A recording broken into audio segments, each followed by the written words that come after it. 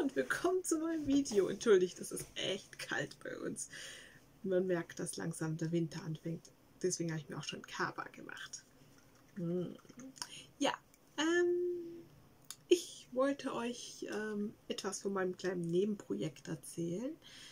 Ähm, es wird ein bisschen nerdy, ich gebe es zu, aber ich habe mich einfach mal neben meinem riesengroßen Zimmerprojekt brauche ich irgendwas, was mich ablenkt von den ganzen Sachen, die da so sind und wo da alles noch so zum Denken ist. Und darum habe ich mir dann gedacht, ah, ich überlege schon seit Jahren und jetzt habe ich eigentlich noch nie gemacht, aber hm, ich glaube, ich baue mal einen Computer zusammen.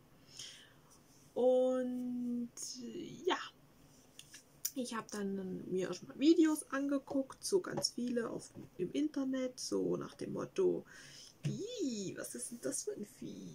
Nein, nicht das, also oh, oh, oh, da war gerade so ein Viech. Oh, Entschuldigt. Ähm, ja. Äh, ich habe dann so gefühlte 101 Video geguckt erstmal. Da habe ich mir gedacht, okay, ja, jetzt habe ich so eine ungefähre Ahnung, was das ist und was da sein könnte.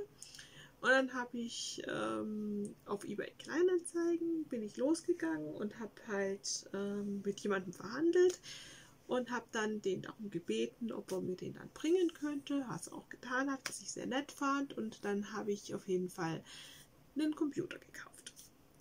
Für, ich glaube, 80 Euro. Ähm, dann habe ich so das Gehäuse von dem Computer gesehen und ich muss zugeben, es war so. Äh, ich hätte mir das jetzt nicht ins Zimmer stellen wollen. Und ja, und dann habe ich, also ursprünglich war so der Gedanke, ich kaufe einen Computer, rüste ihn noch extrem auf und dann ist die Sache durch. Ähm, aber dann durch, die, durch das Gehäuse war dann so der Punkt, wo ich mir gedacht habe, nee, also habe ich mir dann gedacht, okay, neues Gehäuse muss her. Also bin ich los auf Amazon und habe mir ein quietsche-rosa Gehäuse gekauft. Ähm, eine Sekunde, ich kann euch ja Bilder zeigen. Das ist ja das Schöne, wenn wir uns dann. Oh, meine Tastatur ist verschickt. Ja, entschuldigt.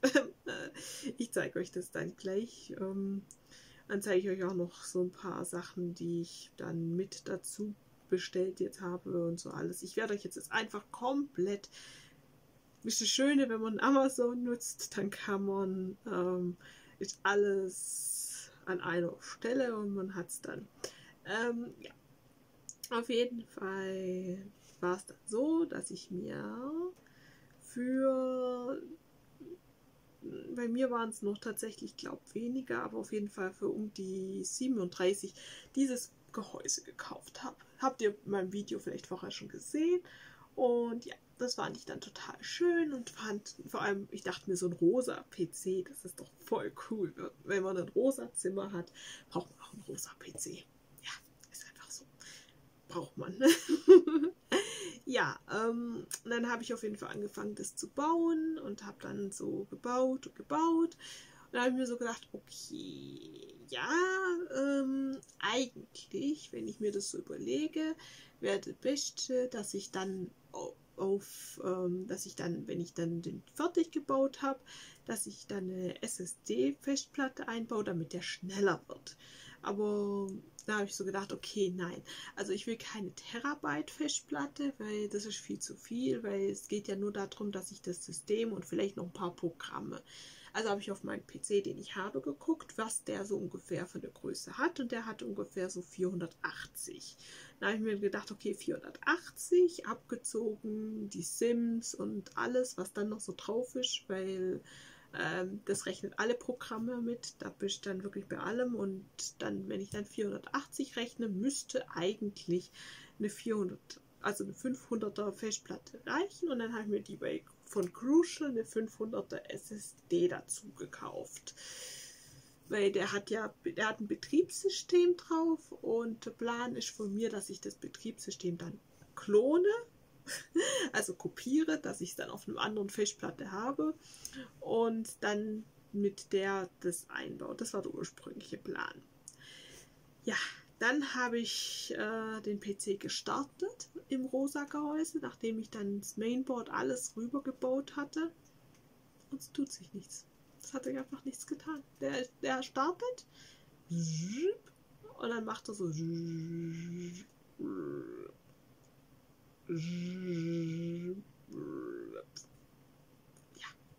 Also habe ich äh, im Internet mal nachgelesen, woran kann das liegen, was ist der Grund. Dann wurde mir gesagt, äh, mehrfach, ja, kann am Mainboard liegen, kann da dran liegen, kann am BIOS liegen, kann an allem liegen. Ich dann schon so, okay, dann habe ich so gedacht, okay, gut, kein Problem. Das Teil hat alles, was es braucht. Es hat RAM, es hat einen Prozessor, es hat dies, es hat das. Es hat sogar eine Grafikkarte drin, was heutzutage nicht mehr selbstverständlich ist. Also ähm, habe ich mir dann ein Festplattenkabel, habe ich mir dann noch eine, eine, ein paar Festplattenkabel gekauft, damit die dann, die nennen, die nennen sich SATA-Kabel und habe dann noch, ähm, habe dann auf jeden Fall mir gedacht, okay, gut, ein neues Mainboard muss her. Elena, die ja noch nie einen Computer zusammengebaut hat, hat einen riesen Fehler gemacht beim Kauf vom Mainboard. Ähm, ich habe dann mir ein Mainboard gekauft, weil mein Gedanke war so, Mainboard ist Mainboard. Da muss man ja nichts wissen. Da, das ist ja einfach eins und dann kann man da alle Prozessoren draufklatschen, die es dieser Welt gibt habe ich mir dieses wunderbare Asus Mainboard gekauft und habe dabei was sehr Wichtiges und sehr Entscheidendes, was ich bis dato, also ich wusste es noch nicht, weil ich, weil ich noch nie einen PC zusammengebaut habe. Ich dachte, es gibt Intel. Intel, alle Prozessoren dieser Welt sind Intel oder von die neuen M irgendwas Chips von, von Apple. Aber das stimmt nicht das ist tatsächlich, das stimmt nicht. Es gibt tatsächlich in der Zwischenzeit eine, eine andere Firma, die nennt sich AMD und die hat dann andere Chips, also andere Prozessoren. Also was mache ich? Ich ziehe los und gucke, was so ein Prozessor kostet. Erster Moment so, zweiter Moment okay. Dann habe ich auf jeden Fall mir jetzt noch diesen Prozessor bestellt.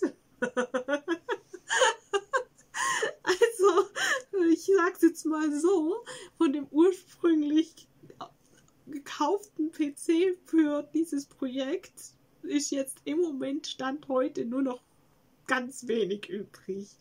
Ja, ähm, dann habe ich auf jeden Fall zusätzlich das, oh, die kommt sogar schon morgen an, äh, habe ich mich dann entschieden, ähm, ja, zweimal 8 und einmal einen 16er RAM noch dazu zu bestellen.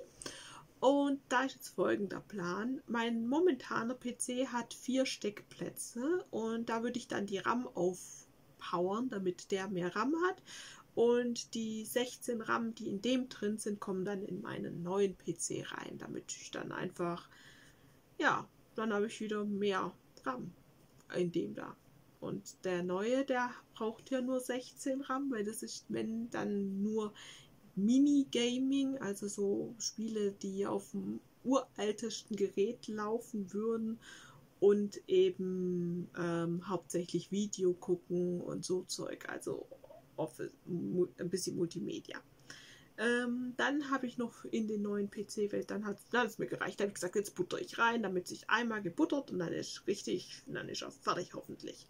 Dann habe ich noch eine 2 Terra Festplatte von äh, Barracuda die ist für Gaming optimiert, damit die ist halt einfach ein bisschen schneller und alles. Und die habe ich jetzt tatsächlich im äh, Gebrauchtmarkt von Amazon gekauft und habe geguckt, wie die ist.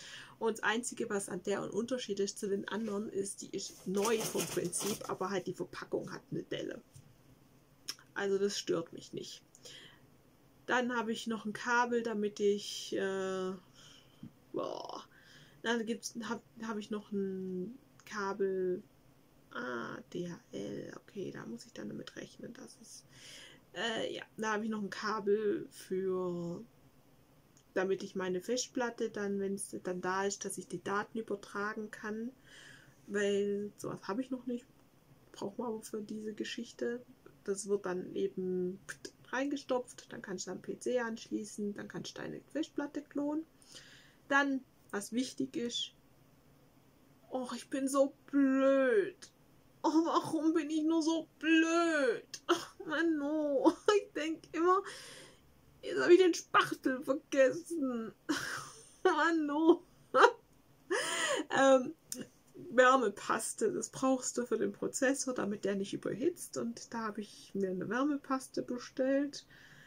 Und weil ich ja schon einen rosanen PC habe, habe ich mir noch eine süße gelbe Katzentastatur dazu bestellt. Und ja. Ähm, ja, das war dann alles, was ich da so für den Moment drin habe ich habe noch den Plan, wenn ich dann irgendwo finde und irgendwo es das gibt, vielleicht noch einen rosanen Bildschirm und noch so andere rosa Sachen. Einfach einmal ein komplett rosanes Setup zu haben für mein, für mein Leben. Aber das ist jetzt nicht jetzt, wo jetzt dann kommt. Und ja, und dann werde ich voraussichtlich am Freitag kann, kommt dann mein Prozessor an und dann kann ich den dann und alles zusammenbauen und habe dann am Samstag einen PC, wenn alles nach Plan läuft. Wenn. Wenn das Wortchen wenn nicht wäre. Aber es ist halt jetzt wirklich so. Und ähm, ja, da ich ja jetzt eigentlich an und für sich zwei PCs habe, bin ich noch auf der, bin ich noch am überlegen, ob ich einem Bekannten schreibe, ob er mir noch ein Gehäuse hätte und einen zweiten, einen zweiten, ähm, ein zweites Netzteil, also so ein Stromsteckding um dann einen zweiten PC noch zu haben. Aber die Frage ist, da gibt es dann drei Varianten, was ich mit dem machen würde, wenn ich den, den ursprünglich 80 Euro PC wieder zusammenbaue. A, ich würde den meinem Vater überlassen. Dann hätte er, oder meiner Mom unten. B, ich würde meiner Großmutter überlassen. Oder C, ich habe ehrlich gesagt keine Ahnung. Aber ja, vielleicht nehme ich mir auch einfach nur die Teile raus, die wertvoll sind und schmeißt den Rest dann weg. Aber ja, klingt jetzt so furchtbar, wenn ich das so sage, aber ich habe halt echt noch gar keine Ahnung, was ich damit machen soll. Ich werde es nachher mal mit meiner Mom bereden, ob sie Interesse dran hat. Und wenn sie Interesse hat, dann baue ich ihr den gerne nochmal zusammen, weil ein Gutes hat es, durch all die Katastrophen bin ich jetzt eine unglaublich gute PC-Bauerin geworden. Also ich weiß jetzt, was man alles falsch machen kann. Ich habe jetzt wirklich, ich habe jetzt schon viel mehr Übung als noch vor kurzem. Und im Grunde war mein Fehler, dass ich ein zu großes Mainboard in einen zu kleinen PC gebaut habe. Und ja, mal sehen. Ich hoffe, dass der dann sich, dass der sich dann am Freitag ähm, starten lässt. Und ja, jetzt kann ich nur das Beste hoffen. Ja, das war's zu meinem PC-Projekt. Ich wollte euch einfach mal von meinem Nebenprojekt ein bisschen was erzählen und ich werde euch auf dem Laufenden halten. Schreibt mir mal gerne in die Kommentare, wenn ihr Tipps habt oder wenn ihr irgendwie noch eine Idee habt, was, was da so ist oder wieso der sich vielleicht nicht starten lässt. Ihr könnt mir auch gerne auf Twitter oder Facebook schreiben oder eine E-Mail an die bell.outlook.com. Ich wünsche euch jetzt eine wunderschöne Zeit. Wir sehen uns. Bis bald. Tschüss.